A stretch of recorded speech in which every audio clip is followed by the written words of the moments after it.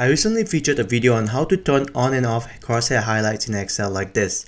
I'll leave the link in the description for all my crosshair highlight tips, but someone had inquired if I can demonstrate how to turn on only rows or column, and here's how you do it. The first thing gonna have to do is to extend our list. Right now our list has only got on and off, so I'm gonna go all the way.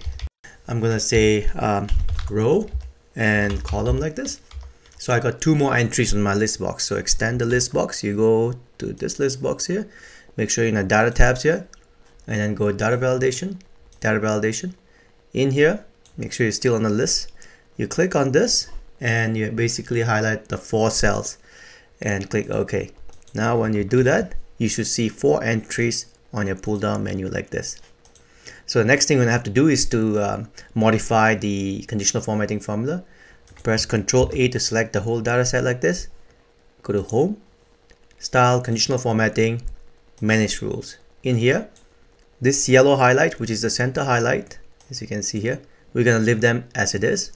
But the formula that we're going to change would be the column to start off with. Here, you're going to say or and then we're gonna keep this as it is but I'm gonna copy this thing here so that I don't have to type. And right after the double quote you're gonna say comma gonna paste that. And now we're gonna say column and close parenthesis and click OK.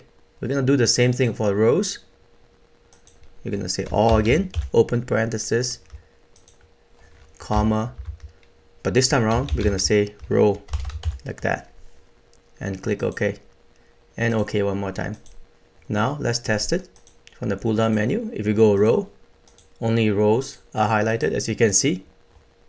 And if you go and do column, only columns are highlighted. And of course your on and off will still work. When you go on, everything comes on. When you go off, all the crosshairs off.